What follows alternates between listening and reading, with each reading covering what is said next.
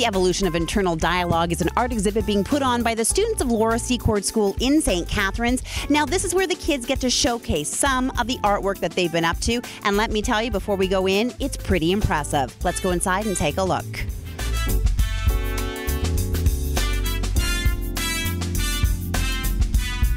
What it is, it's just an exhibition of uh, all our students' work from the visual arts department. So we have work from grade 9 to grade 12. Uh, it features, um, we've got drawing and painting, we have sculpture, we have printmaking, um, we have an installation, and uh, just a variety of work from our students.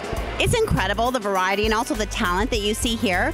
Um, what are your thoughts about the importance of arts and bringing that into the school system and just sort of bringing out the creativity in the kids? Um, well, that's really important because um, it's a skill set that we believe that the students um, really need to practice and to hone so that when they go to post um, post secondary do their post secondary studies, um, they have uh, a good skill set.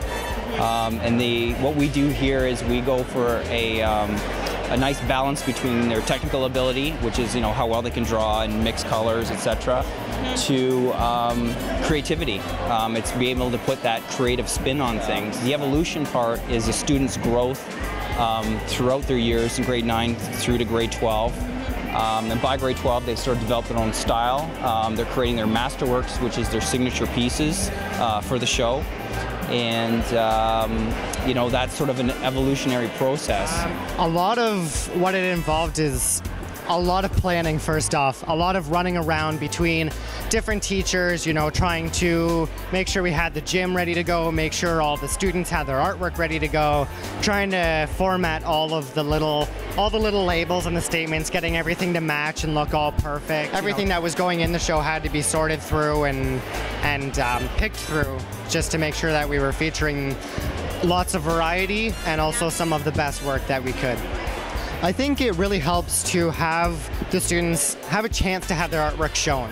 Not a lot of students who are into art have the ability to do that. A lot of the time, we have, you know, music, we have concerts and stuff like that for them. We have musicals and plays for the drama people. The art kids kind of get left out sometimes. So it's good to have a nice big show to have lots of people out where everyone can see the work, everyone, and it gets a chance to really show the talent that's in our school my artwork kind of goes along with a quote that that is in life we all have an unspeakable secret, an unreachable dream, an irreversible regret, and an unspeakable love. And they the images are they're to put out the inner feelings that you have when you think about those emotions. Like they're all about showing the feelings that you have that you can't show on a day to day basis. They're a way to look at it and realize that, yeah, you have these feelings inside, but there's always like something to better to look forward to.